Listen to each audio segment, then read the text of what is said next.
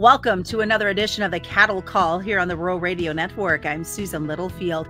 Uh, excitement, man, oh man. I think if there'd have been allowed for fireworks on Friday night, we might have actually seen them because of this cattle market. We're going to talk more about this and something I found interesting a cattle trade that went late into the evening. We'll talk more about that. We'll talk about the mm-hmm. technicals and the challenge that's happening within the trade today, along with some interesting things happening within the open interest and a nice numbers increasing on the rally. As always, Brad Kooima joins us with Kooima, Kooima, and Varilek out of Sioux Center, Iowa. And let's talk about the fact that you know, we knew the cattle on feed report would be coming out. We knew cash would take place after that. But who'd have thunk that we would have seen that cash discussions happening with the Packers way after six o'clock at night. I know it's crazy, uh, unusual. Um, although it's happened two weeks in a row. Um, good to see you, Susan. Thanks for having me on. Yep. Um, so I was still uh, talking to my the guy that sells my cattle, who happens to be my brother, at about 6:30 on Friday night about should we take 185, um, which was two to three, or maybe even instances four higher than some of the bids had been uh, the week or two prior to that. Um, obviously, that was a nice sale. We did sell quite a few cattle that way, um, but to wait that long, uh, it, I, I think. I think part of the deal is I think some of these packers that found themselves short bought decided to gamble and hope, well, maybe the maybe the cattle on feed report will be bearish at two o'clock. Maybe that'll break the will a little bit of the feedlot. Maybe we'll be able to get cattle bought a little less than we thought. Well, the report was neutral, um, and I didn't see anything too exciting about it other than you can see that the general migration of cattle on feed are still moving to the north. Uh, and away from, particularly away from Kansas, but to a degree away from Texas also. Um, uh, so I, you know, when they didn't get any help on the report, and and and, and the feeder said, you know what, I'm current enough here in my part of the world anyway, where I'm going to wait. And then the then the bids came around. There was a little 185 again today, by the way, uh, and basically an immediate ship deal. Um, I think cash can be better this week. Uh, I think we have a shot to be one to two higher again, both up here and in the south.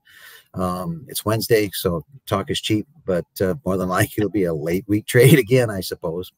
So it sounds like we're going to go toe to toe and and see in the end who wins out, and more than likely it'll be it'll be those uh, cattle producers.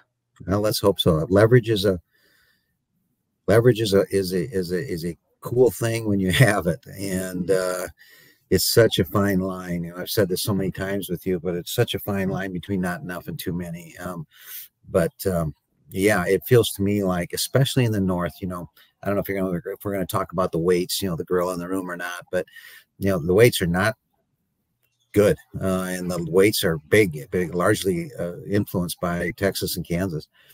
Not so much in Iowa. In fact, the average we're, we're very average. Uh, we look at that data hard every Tuesday morning when it comes out. But so it appears as though you know maybe the more uh, vertically integrated feeder, um, uh, the packer is is asking for more days and more weight. That is a way to create supply, obviously. Um, but in the north here, where we do still do the negotiation, we've still got a little leverage, obviously. So how, since we're talking about this gorilla, I'll grab the bunch of bananas and, and how big can these cattle get in the South before it becomes too big for those packers?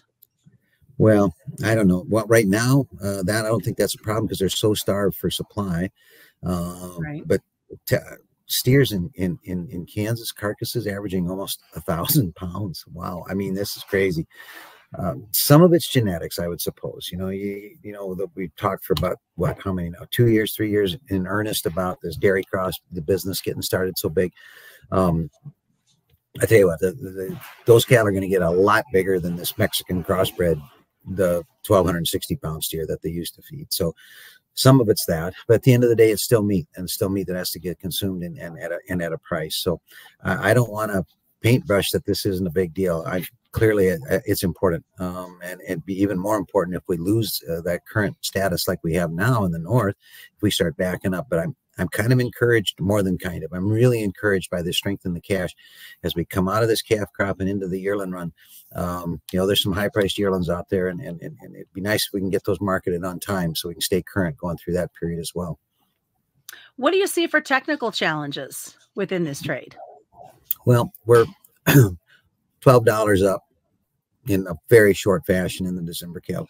Um, and so you know there there there are there are certain momentum indicators. I personally like the stochastics the best for cattle anyway, um, but they're higher than the draft's dentist here. The stochastics are well above 90%. And anytime you get above 80, you start to, that's their, that's your yellow blinking light to be careful. Um, now markets can stay overbought for a while, particularly hogs or oversold. Um, but you know, it, it's not natural for the market to move that quickly in that short amount of time. So it's the market is a market of action and reaction, which means usually bull markets are somewhat forgiving. You get a rally, you get a correction, you get another rally, you get another correct. Okay, you know, I mean that's it's like a stairway, not not like a skyscraper. Um, so could we have a little bit of a correction here? Sure. Um, the one thing that I would uh, note that I think is important technically, being at the topic we're on, 183.50 um, some of the guys that I talked to in the the fund community, if you want to call them that, um, you know, were telling me like, well, the funds probably aren't going to really start get involved until 183.50. Well, I'm not going to kid you. When we were sitting there 173 and 174, I'm like, seriously, we got to get all the way to 183.50 to get you bulled up. Um, but look at yesterday's action when we took out that 183.50 for real open interest of up over 7,000 contracts. So, I mean, these guys came after it they've got a lot of dry powder. Okay. They got a lot of bullets because this open interest is not very big, even now here at, at, all. That excites me. That encourages me. That doesn't mean you can't have a couple dollar correction just because we're so overbought. But the technical picture of this thing is getting a lot better, um, in my opinion. Now, I should, there are hedgers out there. I'm one too. I mean, I'm more than a speculative right. trader. I do feed cattle and I do hedge, believe it or not, once in a while. I, I, just want to, I just want to highlight a little bit the summer cattle, most particularly June cattle. Okay, we're, we're, we were at 180 yesterday. Now, think about basis. The last several years, the last couple in particular, and for instance, like last year, you remember the basis, guys? Eight, 10 over sometimes more than that, 12. So what I'm trying to say is a 180 June, if the basis is like last year, that could be like a 190 May cash cattle. You tell me. I mean, is that is that a terrible place, you know, uh, to start selling a few cattle? I guess I think not. Um, yeah, I'm friendly. I like the market. I think we're going into tighter numbers as we get to the end of the fourth quarter. But uh, there's always something that can go wrong, as we've been proven over and over and over. You and I haven't talked about this in a couple of weeks, and that's heifer retention. Um, I've talked to a few young cattlemen out there that are saying, hey, we're going to hold back all the heifers we get this fall um, to start rebuilding what we have. But then when you look at the markets and the discussions out there, they say that there isn't. And of course, how do we know without a July report? But what are you hearing out there? And is the potential there to start seeing a pickup? Well, that's a it's a great question, and it is the question in terms of you know what we should be looking at analytically long term in the marketplace. Um, we will get a little bit of a glimpse on the next cattle on feed report because the quarterly report, reports, uh, so the October one. Remember last year's quarterly October report was a real nightmare. That great big placement number. Remember it? I, will show you my scar. Okay. Um, the the that one will give you a breakdown of steers and heifers that are getting placed. So that we should be able to extrapolate a little out of that one. The December one will help us with that too. Um, unfortunately, like you said, we did not get the, the semi-annual inventory report at the end of July, so we have to wait till the end of January. Um, but to try to answer your question, and I asked this question to a lot of cattle people, the ones that I think that you know would have a, a an educated response anyway, um, and, and, it's it's very regional. There there still is the main driver of when I ask those questions, a lot of guys they say, Brad, it's economics. Uh, I can't afford not to sell these heifers for what they're bringing. My banker tells me I got to retire some debt. I'm 77 years old. Uh, I'm not, but I mean that's what people are saying. This is my way out. I'm not gonna, you know, I'm not gonna start a bunch of first calf heifers. And in fact, I'm selling cows. But cow today, uh, cow slaughter year to date is down a lot from last year and the year before. So either you got to, I mean, if you're going to be a cowboy, you got to have cows. Uh, and so to me, there's that area across the north that I'm most familiar with Dakotas, the Montana, Wyoming, Colorado, that area. I think there's going to be heifer retention. I think it's already started. Now you go to because they've had enough grass and enough rain for the most part. Uh, now, if you go like the southeast, the Virginia, Kentucky, that sort of thing, where there's a lot of cattle down there, they have not had great weather, and I think they probably aren't. Um, so I guess that's okay. Let's start this rebuild phase slowly. It'll make, keep these numbers a little tighter, a little longer than what we thought they might have otherwise.